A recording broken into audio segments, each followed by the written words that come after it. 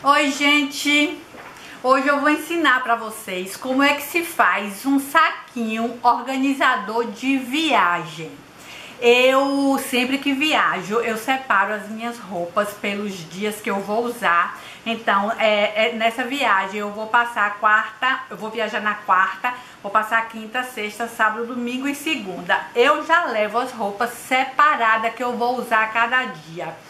Normalmente eu, eu acordo de manhã, já coloco aquela roupa, vou passar o dia todo na rua. Quando eu chegar à noite eu vou vestir um pijama, alguma roupa de dentro de casa, que vai ser uma para a semana toda. E aí eu sempre, eu sempre fiz é, em saquinhos plásticos e, e colocava uma etiqueta de papel. E quando foi hoje, hoje não, ontem, sei lá, pensando o que é que eu iria levar para arrumar minha mala, eu me toquei que eu deveria ter encomendado uns saquinhos organizadores na Lapome, porque eles fazem uns saquinhos lindos. Isabela usa muito e eu nem sei porquê, nunca, nunca mandei fazer pra mim. Aí eu falei, ah, não quero viajar com saquinho plástico, acho que eu vou fazer umas sacolinhas de emergência.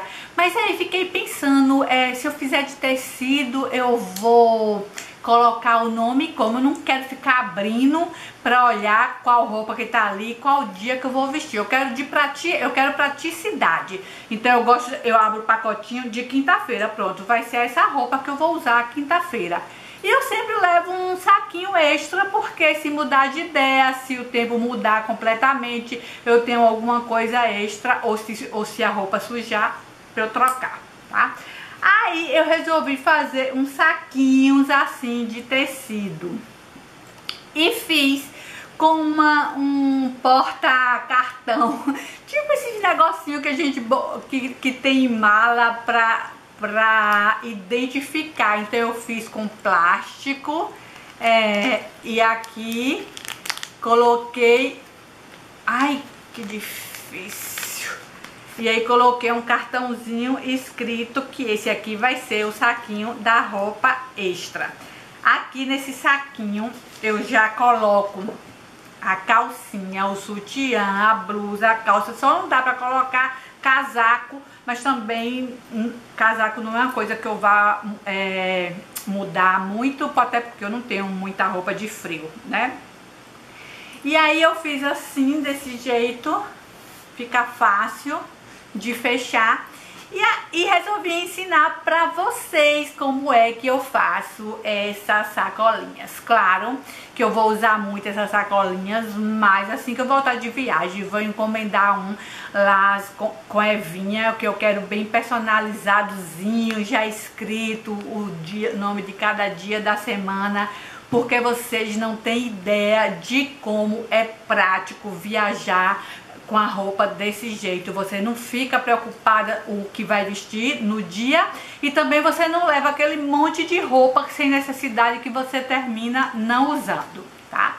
Então, a primeira coisa que eu fiz, claro, foi procurar uma sacola plástica que tivesse um plástico assim durinho para que eu fizesse o letreirozinho da sacola. Então, vai precisar de um pedaço de plástico, de viés eu, eu usei esse viés, esse viés mais largo de tecido. Esse, essa sacolinha eu cortei duas partes de 40 por 40 mais ou menos. Tem quase 40 por 40, ela tá em duas, ó. E eu vou começar a fazer. Tá, então, recapitulando, você vai precisar do tecido, vai precisar de viés, vai precisar de um plásticozinho, isso aqui eu tinha uma sacola aqui com esse plástico durinho eu peguei, e vai precisar de algum tipo de cordão para você fechar. Eu vou colocar gravando aqui enquanto eu faço e vocês fiquem observando porque é super prático. A primeira coisa que eu fiz foi pregar o viés nessa parte aqui da abertura. E eu vou agora é, pregar esse bolsinho aqui. Eu costumo fazer de uma forma bem prática. É, coloco um alfinete aqui. Como o plástico, se ele tiver muitas costuras, ele pode é, estragar. Eu fiz com o mínimo de costura possível. Aí dobro aqui a pontinha do viés. Eu vou pregar esse viés não da forma tradicional, tá? Vou pregar esse viés assim.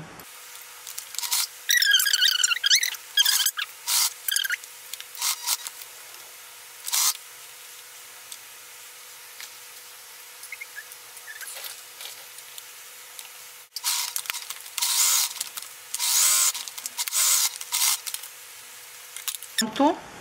Aqui eu já fiz o saquinho. Fiz uma emendazinha aqui rápido porque o, o viés ficou pequeno. E agora eu vou colocar o lugar onde vou passar a, o cordãozinho de fechar. Então, vou com ele aberto. Eu meço mais ou menos dois dedos. Dobro a pontinha e começo dois dedos da, na, do lado e dois dedos em cima. Meço mais ou menos isso. Deixando bem claro que essa sacolinha que eu tô fazendo é assim, bem na base da improvisação, tá? Quando eu chego aqui, eu não fecho essa parte aqui, lembrando que aqui vai passar o fio. Então, eu pulo pro lado de cá.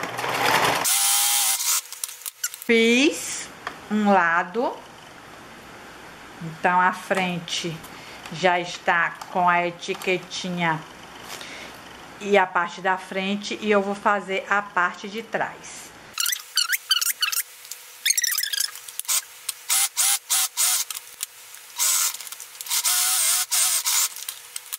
Depois que eu fiz os dois lados, eu vou fazer o acabamento aqui da da, da boquinha, então eu dobro assim duas vezes.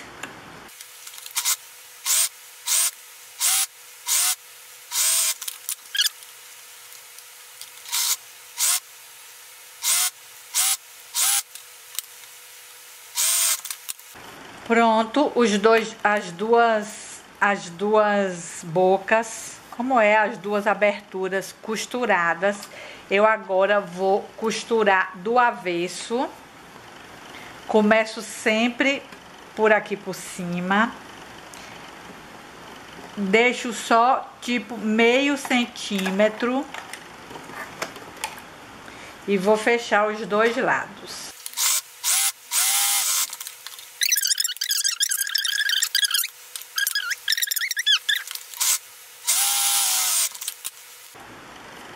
Depois eu viro.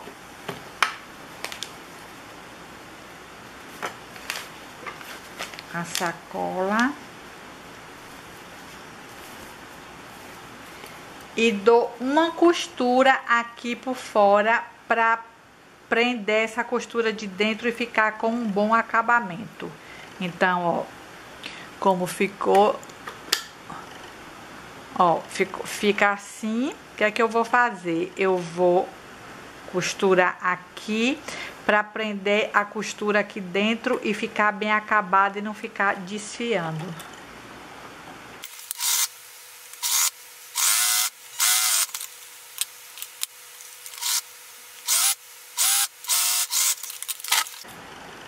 Pronto, a sacola tá pronta. E aí eu vou agora é, colocar o cordão. Como que eu faço com esse cordão? Eu quero o cordão duplo para ficar fácil de fechar. Então eu faço assim. Meço. Coloco a conta aqui e deixo sobrando um pouquinho aqui. Eu vou precisar de dois desse, então Vou medir.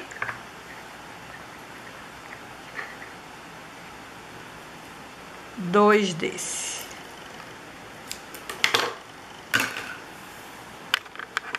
E aí eu vou passar o cordão aqui por dentro. Eu uso um, um alfinete. Aí eu vou passar o cordão aqui por dentro.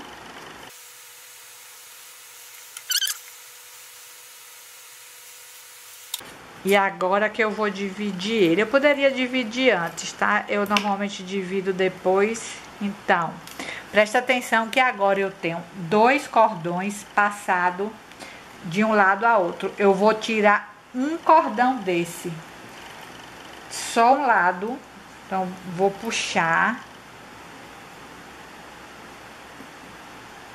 Este cordão aqui.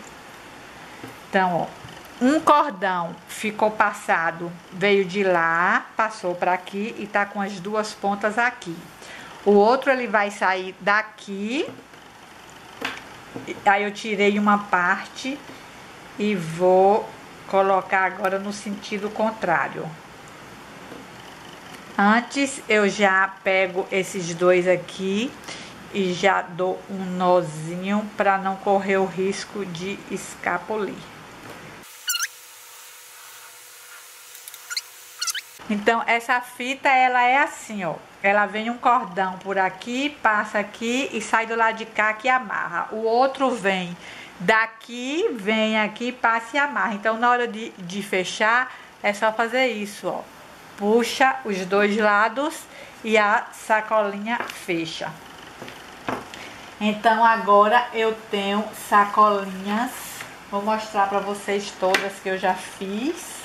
É, eu fiz a extra, a de sábado, a de sexta, a de quinta. Essa aqui vai ser a de quarta. Aí eu vou pegar o papel, colocar aqui dentro. Fiz uma sem, sem etiquetinha, na verdade eu esqueci de botar, mas eu posso aproveitar para colocar cachecol, alguma coisa extra que eu vá colocar. E ainda falta fazer, então eu tenho quarta, quinta, sexta, sábado, domingo. Ah, não, essa não é extra não. Domingo e segunda eu tenho que fazer mais duas ainda para domingo e para segunda. Então é isso. Espero que vocês tenham gostado das sacolinhas. É, depois eu vou gravar um vídeo é, mostrando como que eu organizo minha mala para viajar e quando eu chego lá eu não tenho trabalho nenhum nem organizar as coisas e nem para voltar. É, clica aí embaixo em gostei. E tchau! Ah, pera, esqueci de falar. É, se você quiser fazer é, sacolinha assim, personalizada para dar de presente ou para você usar, você pode colocar o nome, você pode escolher a estampa que você quiser, você pode é, é, mandar a estampa pronta. Você pode escolher das estampas que lá tem na lá, já, lá na Lapome. vou deixar o link aí embaixo no box de informação, porque eu também vou comprar as minhas e depois eu mostro pra vocês as outras. Eu vou ficar com várias sacolinhas, tá bom? Era só isso que eu tinha esquecido de falar. Beijinho. Tchau, gente. Não esquece de curtir.